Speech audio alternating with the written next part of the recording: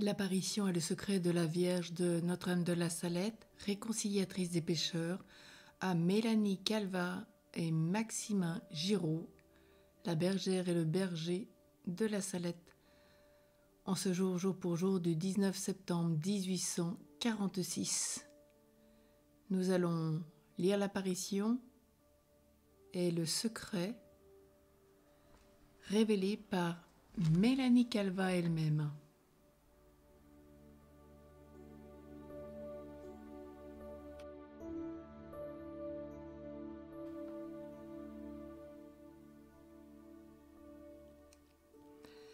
L'apparition de la Très Sainte Vierge sur la montagne de la Salette le 19 septembre 1846 par la bergère de la Salette Mélanie Calva avec l'imprimature de Monseigneur l'évêque de Lecce.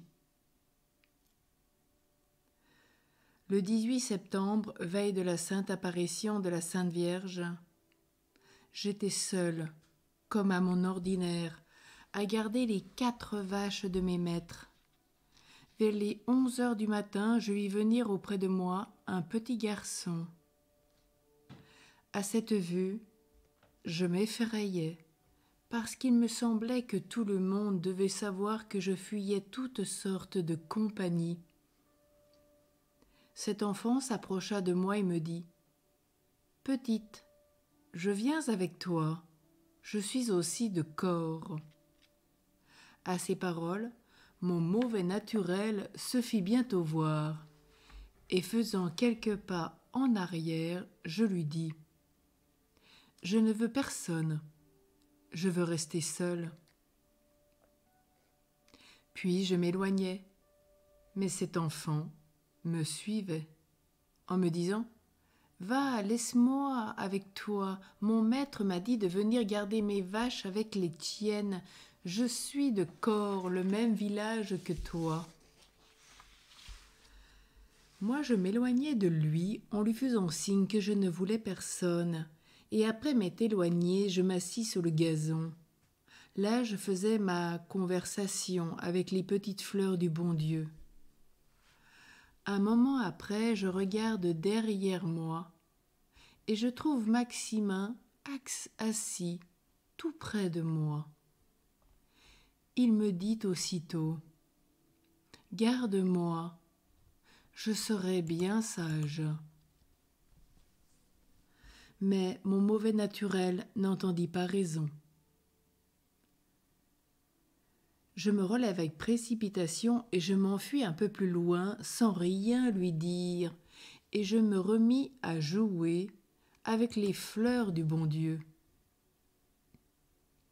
Un instant après, Maximin était encore là à me dire qu'il serait bien sage, qu'il ne parlerait pas, qu'il ne s'ennuierait pas d'être tout seul, et que son maître l'envoyait auprès de moi, etc. Cette fois, j'eus pitié. Je lui fis signe de s'asseoir, et moi je continuai avec les petites fleurs du bon Dieu. Maximin ne tarda pas à rompre le silence. Il se mit à rire. Je crois qu'il se moquait de moi. Je le regarde et il me dit Amusons-nous, faisons un, faisons un jeu. Je ne lui répondis rien, car j'étais si ignorante que je comprenais rien au jeu avec une autre personne, ayant été toujours seule dans ma vie. Je m'amusais seule avec les fleurs, et Maximin s'approche tout à fait de moi, ne faisant que rire et me disant que les fleurs n'avaient pas d'oreilles pour m'entendre, et que nous devions jouer ensemble. Mais je n'avais aucune inclination pour le jeu qu'il me disait de faire. Cependant, je me mis à lui parler et il me dit que les dix jours qu'il devait passer avec son maître allaient bientôt finir et qu'ensuite il s'en irait à corps chez son père. Tandis qu'il me parlait, la cloche de la salette se fit entendre. C'était l'Angélus. Je fis signe à Maximin d'élever son âme à Dieu. Il se découvrit la tête et garda un moment le silence. Ensuite je lui dis Veux-tu dîner? Oui, me dit-il. Allons. Nous nous assîmes, je sortis de mon sac les provisions que m'avaient données mes maîtres, et selon mon habitude, avant d'entamer mon petit pain rond avec la pointe de mon couteau, je fis une croix sur mon pain et au milieu un tout petit trou en disant Si le diable y est, qu'il en sorte, si le bon Dieu y est, qu'il y reste. Et vite, vite, je recouvris le petit trou.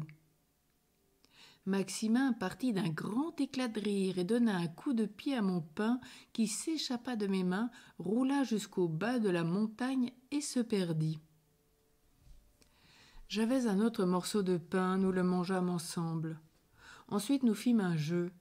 Puis, comprenant que Maximin devait avoir besoin de manger, je lui indiquai un endroit de la montagne couvert de petits fruits. Il en mangea et en rapporta plein son chapeau. Le soir, comme nous descendîmes ensemble de la montagne, nous nous promîmes de revenir garder nos vaches ensemble. Le lendemain 19 septembre, cette année-là tombait la veille de la fête de Notre-Dame des Sept Douleurs, dont l'Église récitait les premières vêpres à l'heure même de l'apparition. Le discours de la Sainte Vierge, son vêtement, ses larmes, le chemin qu'elle fit, qui a exactement la sinuosité de celui du calvaire, tout fut en rapport avec cette fête, afin que nous ne doutions pas que nos révoltes contre Dieu et son Église sont les sept glaives qui, au pied de la croix, ont transpercé son cœur. En ce 19 septembre, je me retrouve en chemin avec Maximin. Nous gravissons ensemble la montagne. Je trouvais que Maximin était très bon très simple, et que volontiers il parlait de ce dont je voulais parler. Il était aussi très souple, ne tenant pas à son sentiment. Il était seulement un peu curieux, car quand je m'éloignais de lui, dès qu'il me voyait m'arrêter, il courait vite pour voir ce que je faisais et entendre ce que je disais avec les fleurs du bon Dieu. Et s'il n'arrivait pas à temps, il me demandait ce que j'avais dit. Maximin me dit de lui apprendre un jeu. La matinée était déjà avancée. Je lui dis de ramasser des fleurs pour faire le paradis. L'étourdie dans tout le temps se passait à corps en amusement de son âge, s'ennuie comme à la veille et demande encore à jouer. La bergère qui ne s'est jamais amusée alors lui apprend à faire un paradis. Et Marie a réuni ces deux chers enfants de caractères si opposés, et la main de sa providence a su amener l'innocent sur la montagne d'une manière si naturelle que le berger remplacé, qui, demain, sera guéri et reprendra son service, dira avec une charmante ingénuité J'ai bien eu du malheur, Comment donc? Je suis tombé malade, sans cela, j'aurais vu la Sainte Vierge. C'est moi que mes mains a remplacé, Maxima. Puis tout juste, c'est pendant ces huit jours qu'il a vu la Sainte Vierge. Ah, monsieur, sans cette maladie, c'est moi qui aurais vu la Sainte Vierge et non Maxima. Nous nous mîmes donc tous les deux à l'ouvrage. Nous eûmes bientôt une quantité de fleurs de diverses couleurs. L'angélus du village se fit entendre, car le ciel était beau, il n'y avait pas de nuages. Après avoir dit au bon Dieu que ce que nous savions, je dis à Maximin que nous devions conduire nos vaches sur un petit plateau près du petit ravin où il y aurait des pierres pour bâtir le paradis. Nous conduisîmes nos vaches au lieu désigné, et ensuite nous prîmes notre petit repas. Puis nous nous mîmes à porter des pierres et à construire notre petite maison qui consistait en un rez-de-chaussée qui, soi-disant, était notre habitation, puis un étage au-dessus qui était, selon nous, le paradis. Cet étage était tout garni de fleurs de différentes couleurs avec des couronnes suspendues par des tiges de fleurs. Ce paradis était couvert par une seule et large pierre que nous avions recouverte de fleurs.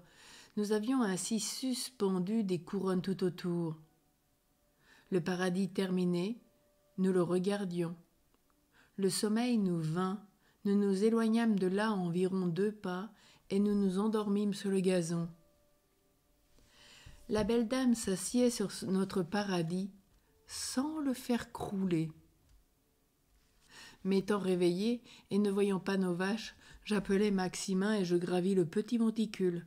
De là, ayant vu que nos vaches étaient couchées tranquillement, je redescendais et Maximin montait, quand tout à coup je vis une belle lumière, plus brillante que le soleil.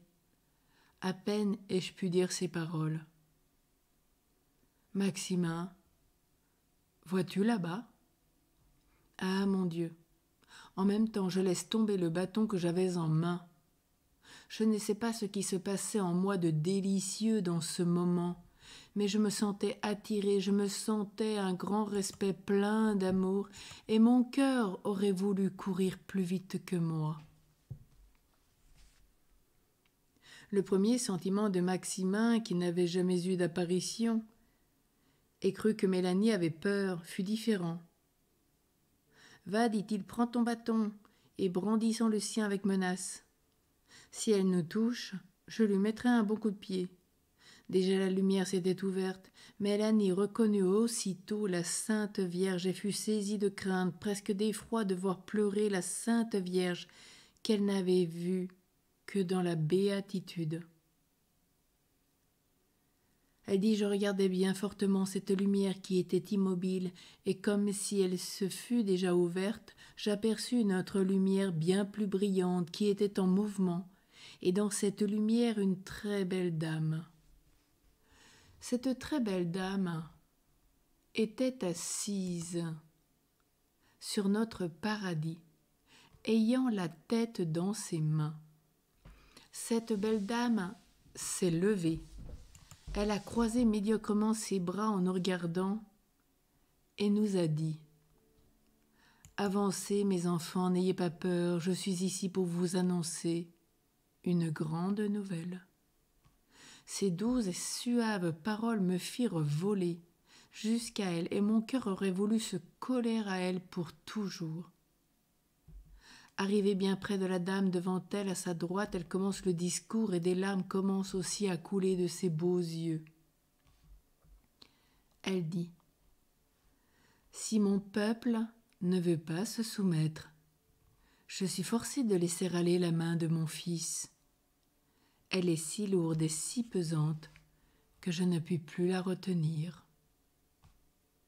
Depuis le temps que je souffre pour vous autres, si je veux que mon fils ne vous abandonne pas, je suis chargée de le prier sans cesse.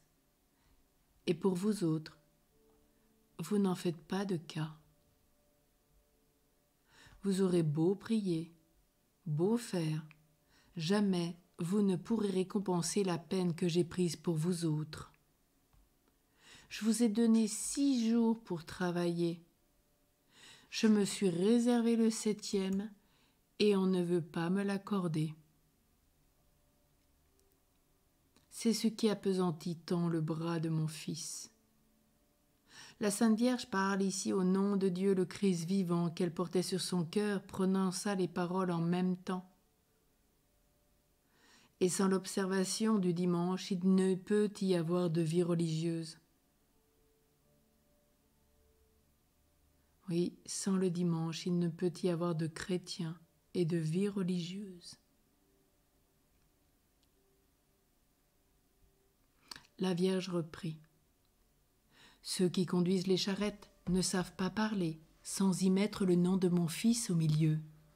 Ce sont les deux choses qui apesantissent tant le bras de mon fils. Si la récolte se gâte, ce n'est qu'à cause de vous autres. Je vous l'ai fait voir l'année passée par les pommes de terre. Vous n'en avez pas fait cas. C'est au contraire, quand vous en trouviez de gâtés, vous juriez, vous mettiez le nom de mon fils. Elles vont continuer à se gâter, et à la Noël, il n'y en aura plus. Ici, je cherchais à interpréter la parole pomme de terre. Je croyais comprendre que cela signifiait pomme. La belle dame, devinant ma pensée, reprit ainsi. Vous ne comprenez pas, mes enfants. Je vais vous le dire autrement. Si la récolte se gâte, ce n'est rien que pour vous autres. Je vous l'ai fait voir l'année passée par les pommes de terre, et vous n'en avez pas fait cas. C'était au contraire quand vous en trouviez de gâtés, vous juriez, vous mettiez le nom de mon fils, et vous continuez à se gâter, et à la Noël il n'y en aura plus. Si vous avez du blé, il ne faut pas le semer. Tout ce que vous semerez, les bêtes le mangeront, et ce qui viendra tombera tout en poussière quand vous le battrez. Il viendra une grande famine. Avant que la famine vienne, les petits enfants au-dessous de sept ans prendront un tremblement et mourront entre les mains des personnes qui les tiendront. Les autres feront pénitence par la faim. Les noix deviendront mauvaises, les raisins pourriront. Ici, la belle dame qui me ravissait resta un moment sans se faire entendre. Je voyais cependant qu'elle continuait, comme si elle parlait de, de remuer gracieusement ses aimables lèvres. Maximin alors recevait son secret. Puis s'adressant à moi, la très sainte Vierge me parla et me donna un secret en français. Ce secret, le voici tout entier, est tel qu'elle me l'a donné. Premièrement, Mélanie, ce que je vais vous dire maintenant, ce ne sera pas pour toujours. Vous pourrez le publier en 1858. Délai admirable, nous le savons, la Sainte Vierge voulait que Mélanie fût délayée de son secret aussitôt après l'apparition de Notre-Dame de Lourdes le 11 février 1858. Il est étonnant que personne n'ait semblé remarquer cela. Deuxièmement, les prêtres, ministres de mon fils, les prêtres par leur mauvaise vie, par leur irrévérence et leur impiété à célébrer les saints mystères, par l'amour de l'argent, l'amour de l'honneur et des plaisirs, les prêtres sont devenus des cloaques d'impureté. Oui, les prêtres demandent vengeance, et la vengeance est suspendue sur leur tête. Malheur aux prêtres et aux personnes consacrées à Dieu, lesquels, par leur infidélité et leur mauvaise vie, Crucifie de nouveau mon Fils. Les péchés des personnes consacrées à Dieu crient vers le ciel et appellent la vengeance, et voilà que la vengeance est à leur porte, car il ne se trouve plus personne pour implorer miséricorde et pardon pour le peuple. Il n'y a plus d'âme généreuse, il n'y a plus personne digne d'offrir la victime sans tache à l'Éternel en faveur du monde. Troisièmement, Dieu va frapper d'une manière sans exemple. Quatrièmement, malheur aux habitants de la terre, Dieu va épuiser sa colère et personne ne pourra se soustraire à tant de mots réunis. Cinquièmement, les chefs, les conducteurs du peuple de Dieu ont négligé la prière et la pénitence, et le démon a obscurci leur intelligence. Ils sont devenus ces étoiles errantes que le vieux diable traînera avec sa queue pour les faire périr. Dieu permettra au vieux serpent de mettre des divisions parmi les régnants, dans toutes les sociétés et dans toutes les familles on souffrira des peines physiques et morales. Dieu abandonnera les hommes à eux-mêmes et enverra des châtiments qui se succéderont pendant plus de trente-cinq ans. Sixièmement, la société est à la veille des fléaux les plus terribles et des plus grands événements. On doit s'attendre à être gouverné par une verge de fer et à boire le calice de la colère de Dieu. Septièmement, que le vicaire de mon fils, le souverain pontife Pie IX, ne sorte plus de Rome après l'année 1859, mais qu'il soit ferme et généreux, qu'il combatte avec les armes de la foi et de l'amour, je serai avec lui. Huitièmement, qu'il se méfie de Napoléon, son cœur est double, et quand il voudra être à la fois pape et empereur, bientôt Dieu se retirera de lui. Il est cet aigle qui, voulant toujours s'élever, tombera sur l'épée dont il voulait se servir pour obliger les peuples à se faire élever. Neuvièmement, l'Italie sera punie de son ambition en voulant secouer le jour du Seigneur, pardon, voulant secouer le joug du Seigneur des Seigneurs. Aussi elle sera livrée à la guerre. Le sang coulera de tous côtés, les églises seront fermées ou profanées, les prêtres, les religieux seront chassés, on les fera mourir et mourir d'une mort cruelle. Plusieurs abandonneront la foi, et le nombre des prêtres et des religieux, des religieux qui se sépareront de la vraie religion sera grand. Parmi ces personnes, il se trouvera même des évêques. Que le pape se tienne en garde contre les faiseurs de miracles, car le temps est venu par que les prodiges les plus étonnants auront lieu sur la terre et dans les airs. En l'année 1864, Lucifer, avec un grand nombre de démons, seront détachés de l'enfer. Ils aboliront la foi peu à peu, et même dans les personnes consacrées à Dieu, ils les aveugleront d'une telle manière qu'à moins d'une grâce particulière, ces personnes prendront l'esprit de ces mauvais anges. Plusieurs maisons religieuses perduront entièrement la foi et perdront beaucoup d'âmes. Douzièmement, les mauvais livres abonderont sur la terre et les esprits des ténèbres répandront partout un relâchement universel pour tout ce qui regarde le service de Dieu. Ils auront un très grand pouvoir sur la nature. Il y aura des églises pour servir ces esprits.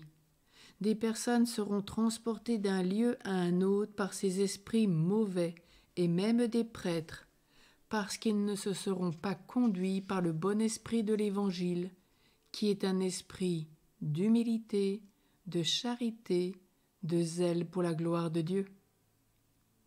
On fera ressusciter des morts et des justes, c'est-à-dire que ces morts prendront la figure des âmes justes qui avaient vécu sur la terre afin de mieux séduire les hommes. Ces soi-disant morts ressuscités, qui ne seront autre chose que le démon sous ces figures, prêcheront un autre évangile contraire à celui du Christ Jésus, niant l'existence du ciel, soit encore les âmes des damnés toutes ces âmes paraîtront comme unies à leur corps. Il y aura en tout lieu des prodiges extraordinaires, parce que la vraie foi s'est éteinte et que la fausse lumière éclaire le monde. Rappelons-nous que nous sommes dans le siècle maçonnique. Malheur aux princes de l'Église qui ne seront occupés qu'à entasser richesse sur richesse, qu'à sauvegarder leur autorité et à dominer avec orgueil.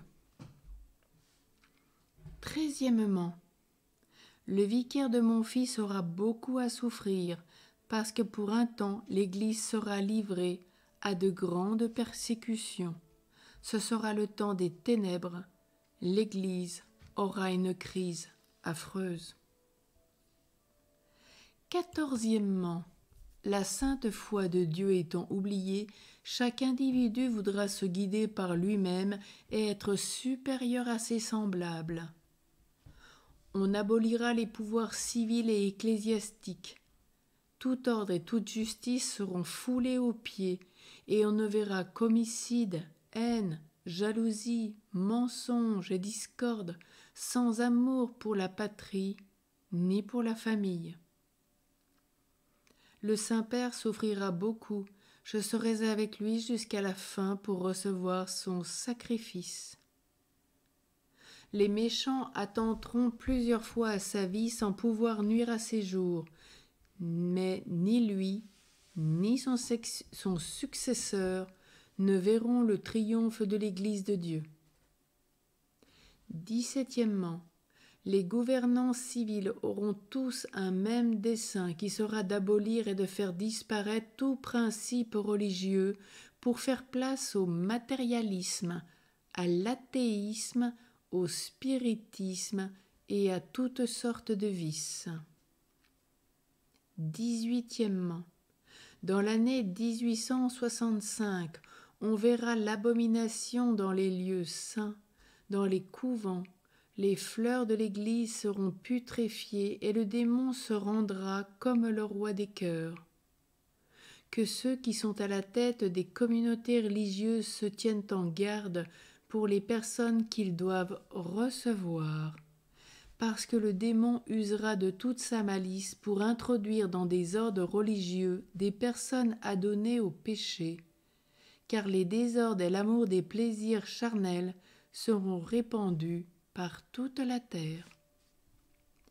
Dix-neuvièmement, la France, l'Italie, l'Espagne et l'Angleterre seront en guerre.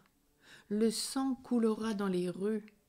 Le français se battra avec le français, l'italien avec l'italien. Ensuite il y aura une guerre générale qui sera épouvantable.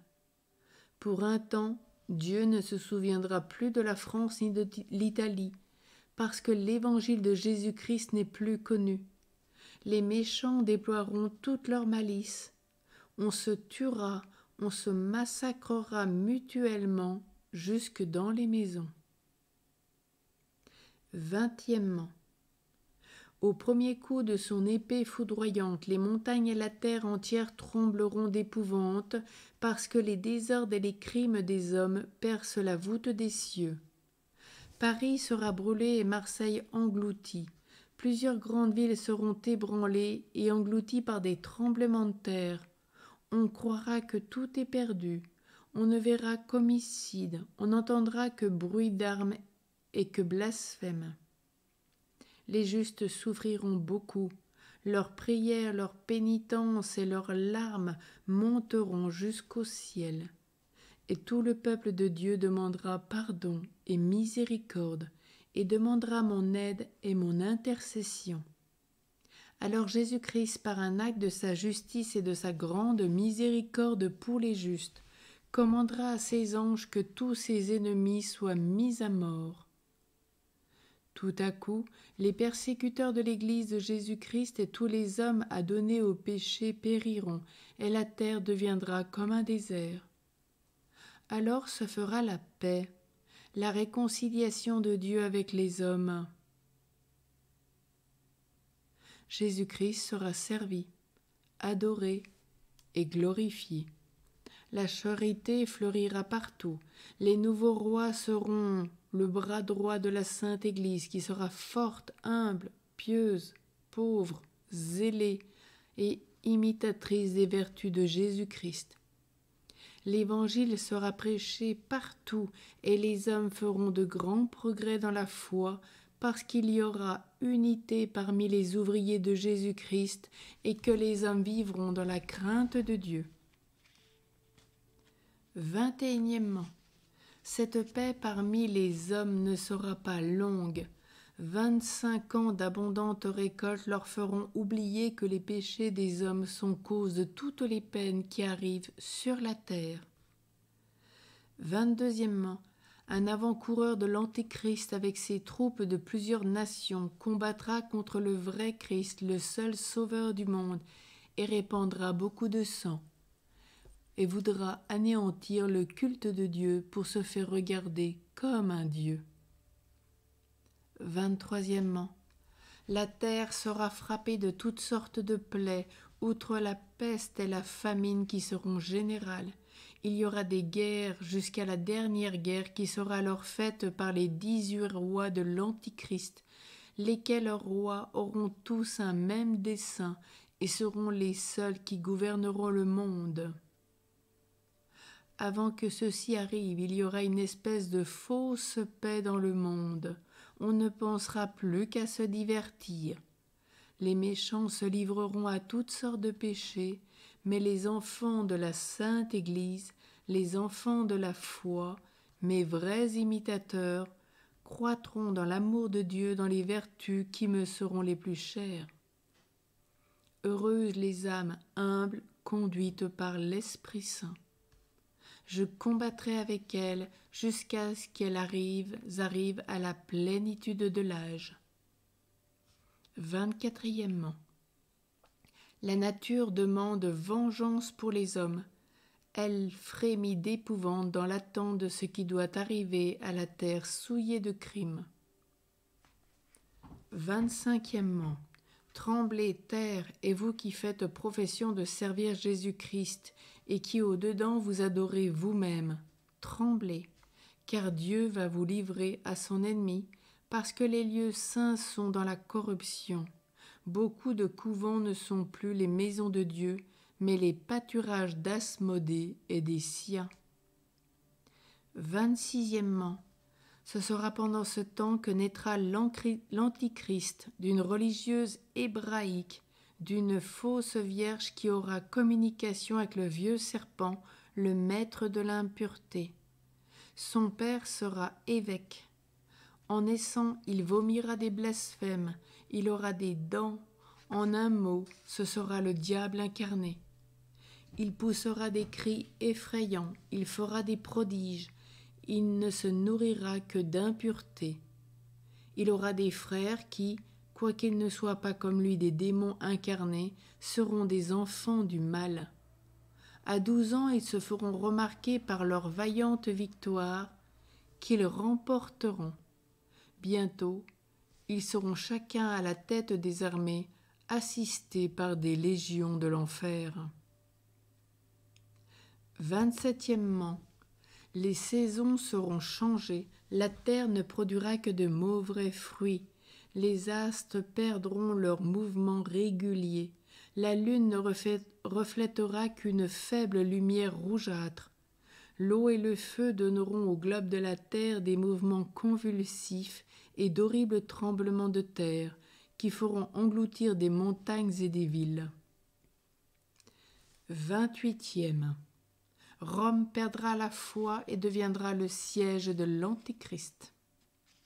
29 Les démons de l'air avec l'Antéchrist feront de grands prodiges sur la terre et dans les airs, et les hommes se pervertiront de plus en plus. Dieu aura soin de ses fidèles serviteurs et des hommes de bonne volonté. L'Évangile sera prêché partout, tous les peuples et toutes les nations auront connaissance de la vérité. Trentième. J'adresse un pressant appel à la terre, j'appelle les vrais disciples du Dieu vivant et régnant dans les cieux. J'appelle les vrais imitateurs du Christ fait homme, le seul et vrai sauveur des hommes. J'appelle mes enfants, mes vrais dévots, ceux qui se sont donnés à moi pour que je les conduise à mon divin Fils, ceux que je porte pour ainsi dire dans mes bras, ceux qui ont vécu de mon esprit. Enfin j'appelle les apôtres des derniers temps, les fidèles disciples de Jésus-Christ qui ont vécu dans un mépris du monde et d'eux-mêmes, dans la pauvreté et l'humilité, dans le mépris et dans le silence, dans l'oraison et dans la mortification, dans la chasteté et dans l'union avec Dieu dans la souffrance et inconnue du monde. Il est temps qu'ils sortent et viennent éclairer la terre. Allez et montrez-vous comme mes enfants chéris. Je suis avec vous et en vous, pourvu que votre foi soit la lumière qui vous éclaire dans ces jours de malheur. Que votre zèle vous rende comme des affamés pour la gloire et l'honneur de Jésus-Christ. Combattez, enfants de lumière, vous petit nombre qui y voyez, car voici le temps des temps, la fin des fins. 31. L'Église sera éclipsée, le monde sera dans la consternation. Mais voilà Enoch et Élie remplis de l'Esprit de Dieu. Ils prêcheront avec la force de Dieu, et les hommes de bonne volonté croiront en Dieu, et beaucoup d'âmes seront consolées ils feront de grands progrès par la vertu du Saint-Esprit et condamneront les erreurs diaboliques de l'Antéchrist. 32e. Malheur aux habitants de la terre, il y aura des guerres sanglantes et des famines, des pestes et des maladies contagieuses. Il y aura des pluies d'une grêle effroyable d'animaux, des tonnerres qui ébranleront des villes, des tremblements de terre qui engloutiront des pays. On entendra des voix dans les airs, les hommes se battront la tête contre les murailles, ils appelleront la mort, et d'un autre côté la mort fera leur supplice. Le sang coulera de tous côtés. Qui pourra vaincre si Dieu ne diminue le temps de l'épreuve? Par le sang, les larmes et les prières des justes, Dieu se laissera fléchir. Enoch et Élie seront mis à mort. Rome païenne disparaîtra. Le feu du ciel tombera et consumera trois villes.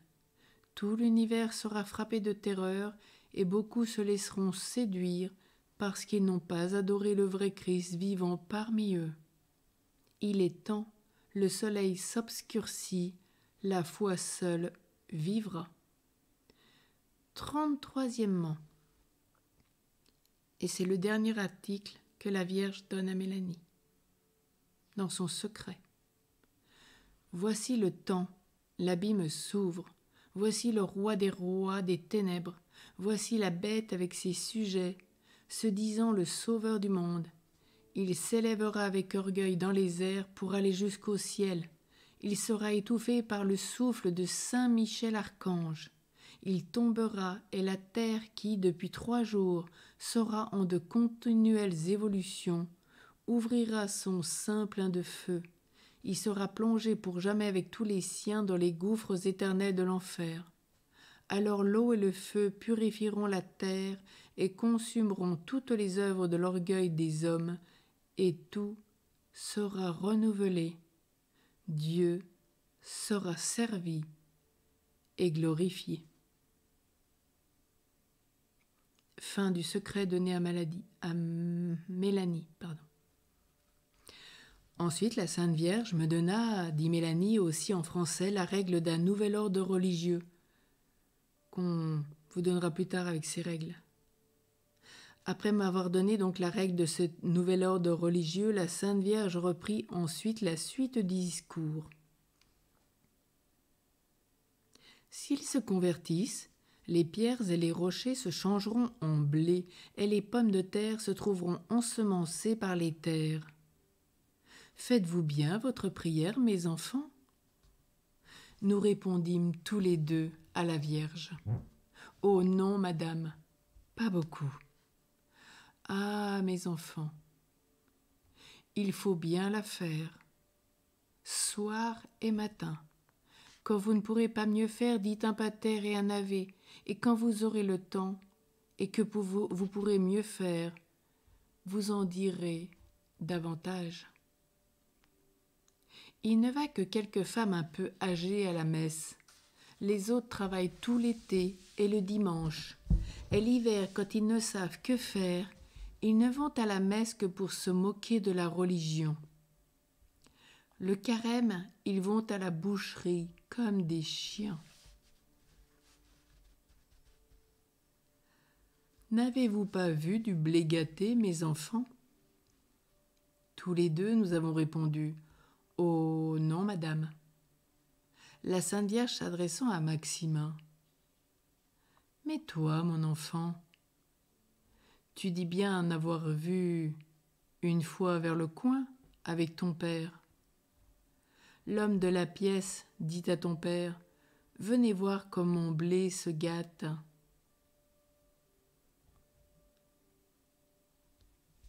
Et nous y allâmes. Ton père prit deux ou trois épis dans sa main, il les fronta, ils tombèrent en poussière. Puis, en vous retournant, quand vous n'étiez plus qu'à une demi-heure de corps, ton père te donna un morceau de pain en te disant Tiens, mon enfant, mange cette année, car je ne sais pas qui mangera l'année prochaine si le blé se gâte comme cela. Maximin répondit C'est bien vrai, madame, je ne me le rappelais pas. La très sainte Vierge a terminé son discours en français. Eh bien, mes enfants, vous le ferez savoir à tout mon peuple. La très belle dame traversa le ruisseau et à deux pas du ruisseau sans se retourner vers nous qui la suivions, parce qu'elle attirait à elle par son éclat et plus encore par sa bonté qui m'enivrait et semblait me faire fondre le cœur.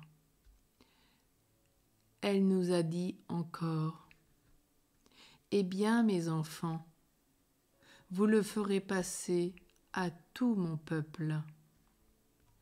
Puis elle a continué de marcher jusqu'à l'endroit où j'étais montée, pour regarder où étaient mes vaches.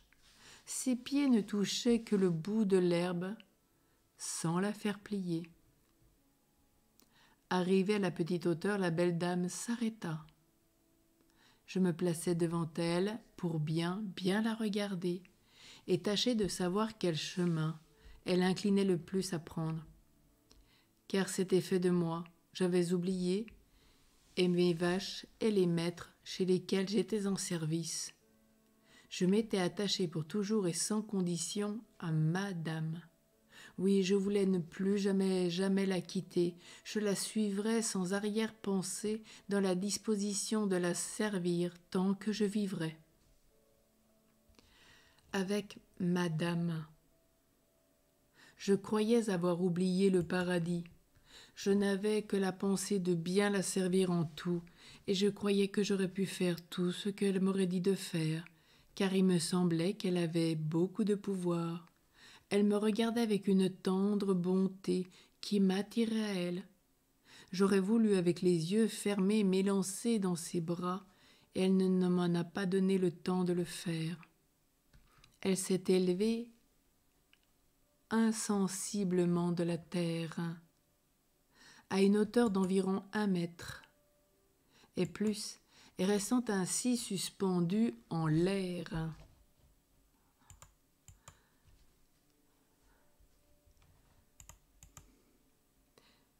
Avec un tout petit instant, Madame regarda le ciel, puis la terre, et à sa droite et à sa gauche, puis elle me regarda avec des yeux si doux, si aimables et si bons, que je croyais qu'elle m'attirait dans son intérieur, et il me semblait que mon cœur s'ouvrait au sien et tandis que mon cœur se fondait en une douce dilatation, la belle figure de ma bonne dame disparaissait peu à peu. Il me semblait que la lumière en mouvement se multipliait ou bien se condensait autour de la très sainte Vierge pour m'empêcher de la voir plus longtemps. Ainsi la lumière prenait la place des parties du corps qui disparaissaient à mes yeux, ou bien il semblait que le corps de Madame se changeait en lumière en se fondant. Ainsi la lumière en forme de globe s'élevait doucement en direction droite. Je ne puis pas dire si le volume de lumière diminuait à mesure qu'elle s'élevait, ou bien si c'était l'éloignement qui faisait que je voyais diminuer la lumière à mesure qu'elle s'élevait.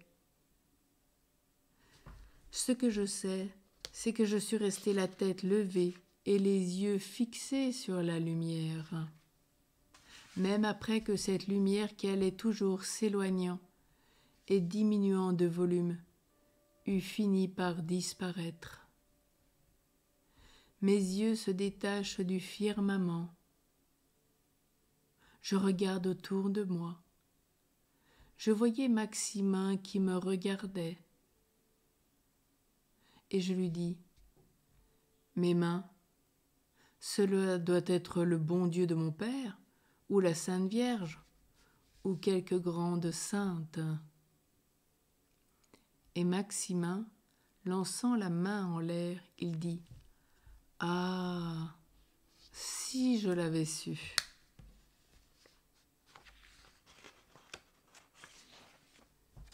le soir du 19 septembre. nous nous retirâmes un peu plus tôt qu'à l'ordinaire.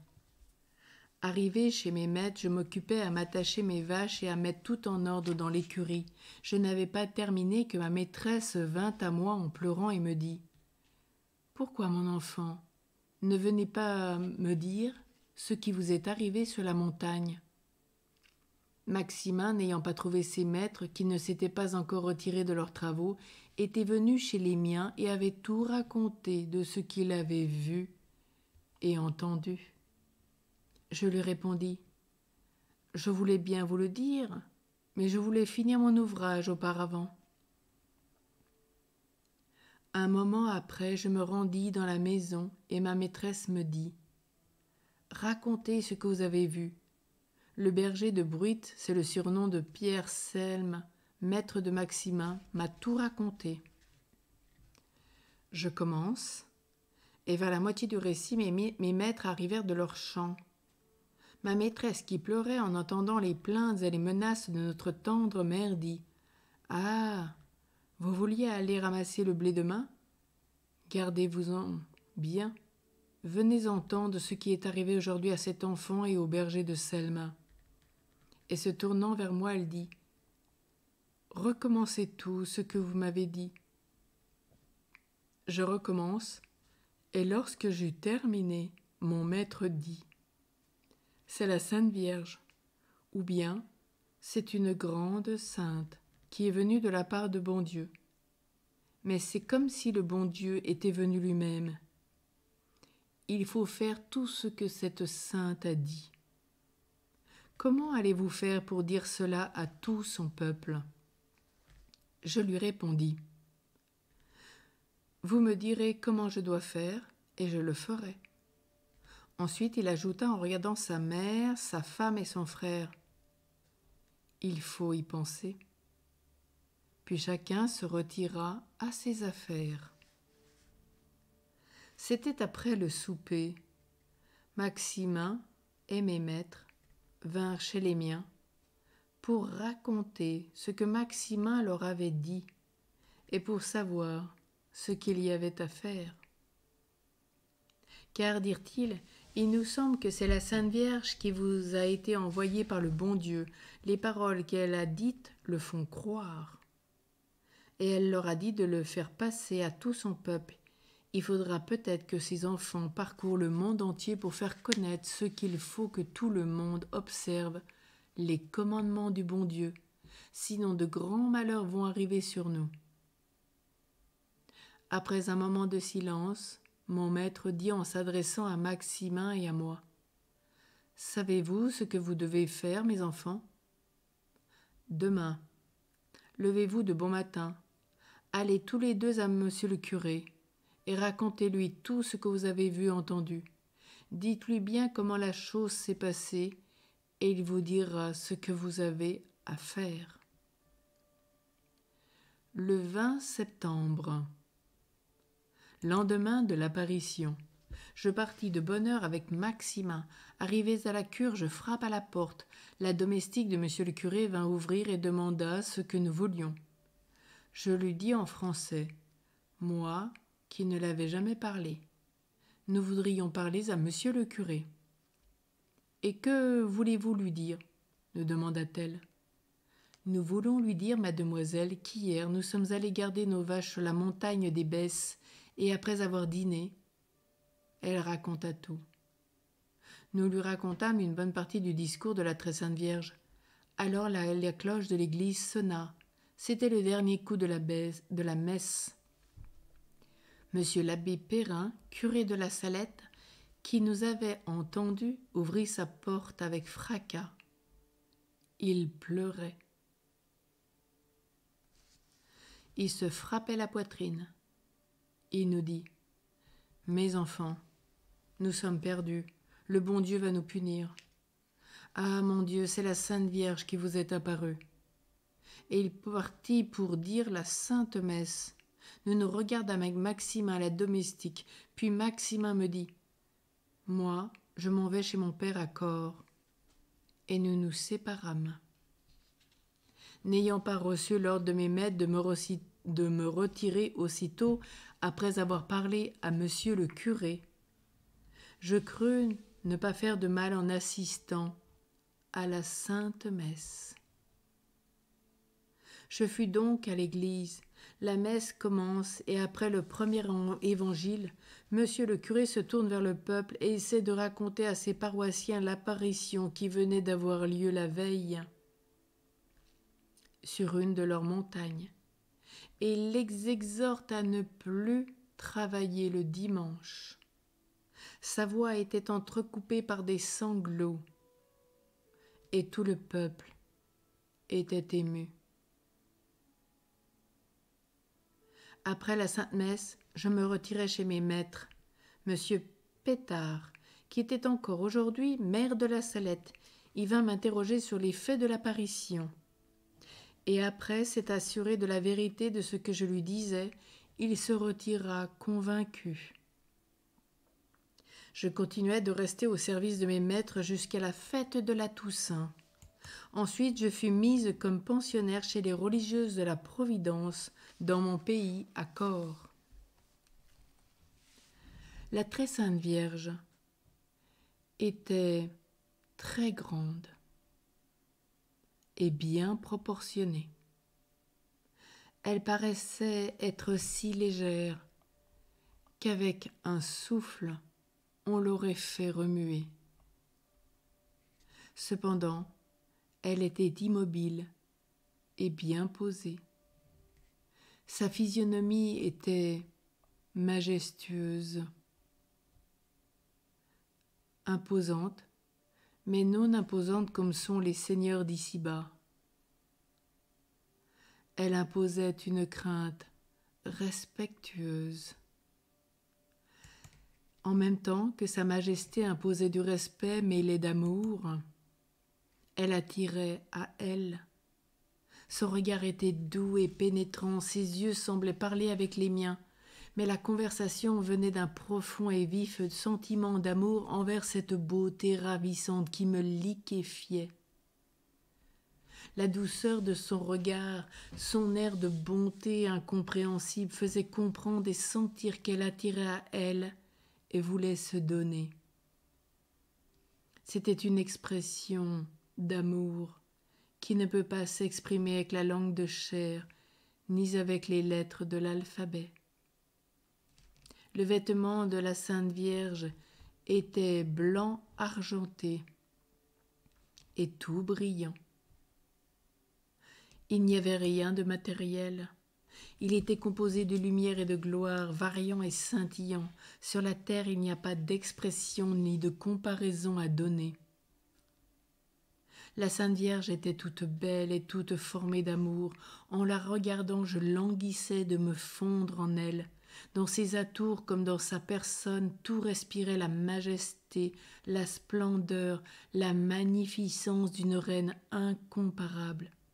Elle paraissait belle, blanche, immaculée, cristallisée, éblouissante, céleste, fraîche, neuve comme une vierge, il semblait que la parole amour s'échapperait de ses lèvres argentées et toutes pures.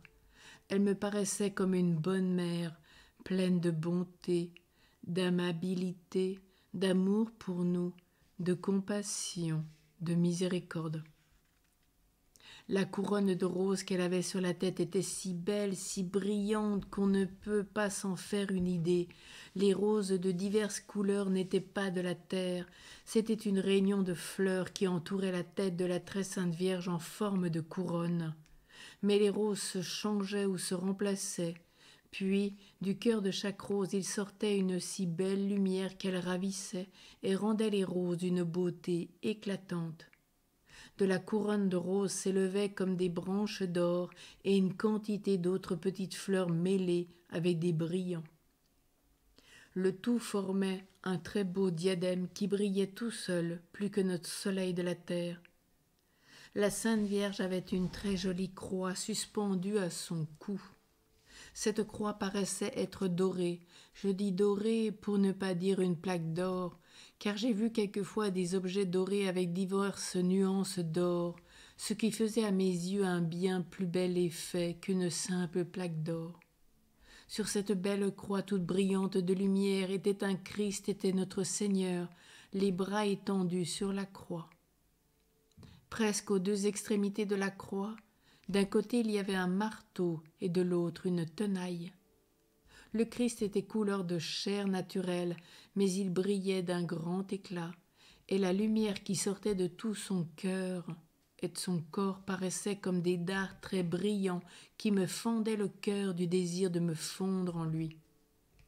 Quelquefois le Christ paraissait être mort, il avait la tête penchée, le corps était comme affaissé, comme pour tomber, s'il n'avait pas été retenu par les clous qui le retenaient à la croix.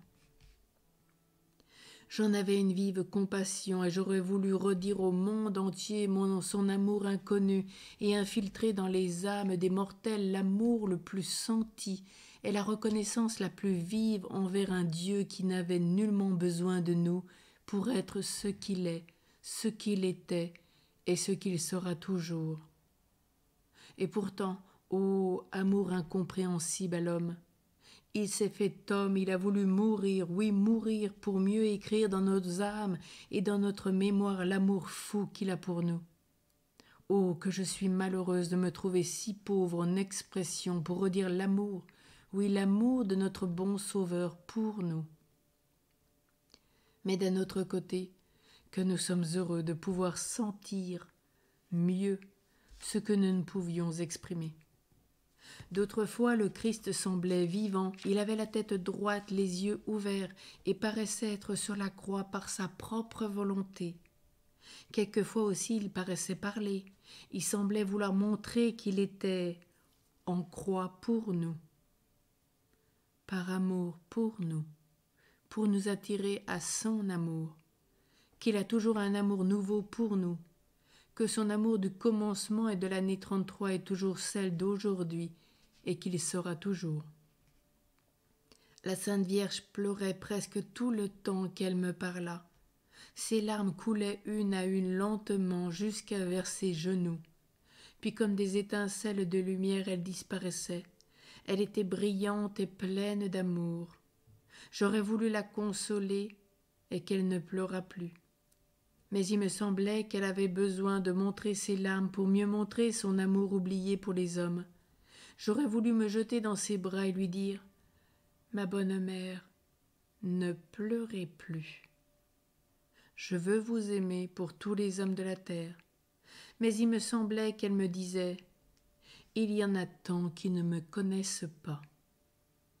J'étais entre la mort et la vie en voyant d'un côté tant d'amour, tant de désir d'être aimé, et d'un autre côté tant de froideur, tant d'indifférence. Ô ma mère, mère de toutes, toute belle et toute aimable, mon amour, cœur de mon amour, cœur de mon cœur.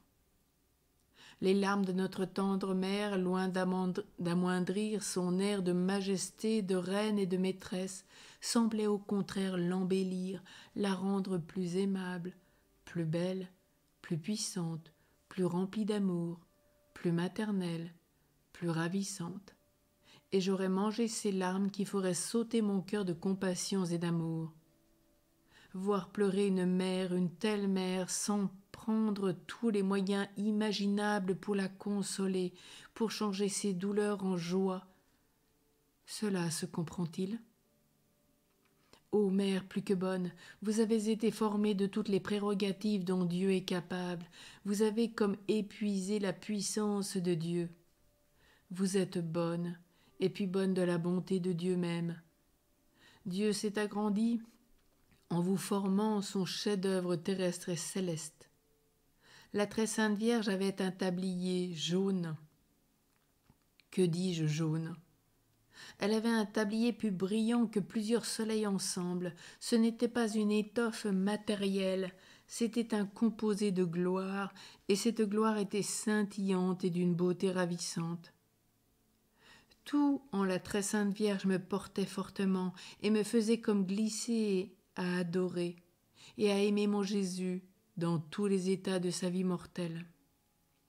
La très sainte Vierge avait deux chaînes, l'une un peu plus large que l'autre. À la plus étroite était suspendue la croix dont j'ai fait mention. Ces chaînes, puisqu'il faut donner le nom de chaînes, étaient comme des rayons de gloire, d'un grand éclat variant et scintillant. Les souliers, puisque souliers il faut dire, étaient blancs, mais d'un blanc argenté, brillant. Il y avait des roses autour, ces roses étaient d'une beauté éblouissante, et du cœur de chaque rose sortait une flamme de lumière très belle et très agréable à voir. Sur les souliers, il y avait une boucle en or, non en or de la terre, mais bien de l'or du paradis. La vue de la très sainte Vierge était elle-même un paradis accompli. Elle avait en elle tout ce qui pouvait satisfaire, car la terre était oubliée. La Sainte Vierge était entourée de deux lumières, la première lumière, plus près de la très sainte Vierge, arrivait jusqu'à nous. Elle brillait d'un éclat très beau et scintillant.